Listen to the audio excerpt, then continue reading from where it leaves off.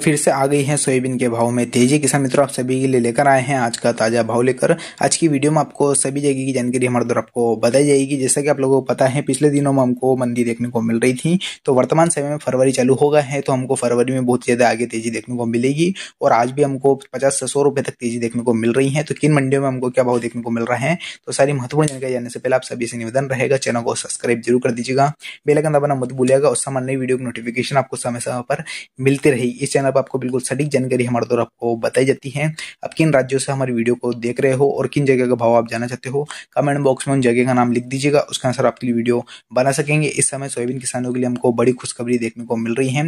देश और विदेश में लगातार सोयाबीन की मांग बढ़ गई है, जिसके कारण हमको काफ़ी असर मंडियों में देखने को मिलेगा। तो आपको कुछ मंडियों का भाव प्रति क्विंटल के हिसाब से अगर आपको बताया जाए तो आज है तीन फरवरी, मही शुक्रवार का दिन आज देखने को मिल रहा है। तो सबसे पहले अगर बात की जाए प्रति क्विंटल के सबसे उज्जैन मंडी पाँच हज़ार दो सौ नब्बे रुपए प्रति क्विंटल हरदा मंडी पाँच हज़ार रुपए, विदिशा मंडी पाँच हज़ार चार सौ रुपए बारह मंडी पाँच हज़ार रुपए, करंजा मंडी महाराष्ट्र चार हज़ार आठ सौ चालीस रुपए मंसूर मंडी चार हज़ार रुपए, गुजरात राजकोट चार हज़ार चार सौ बीस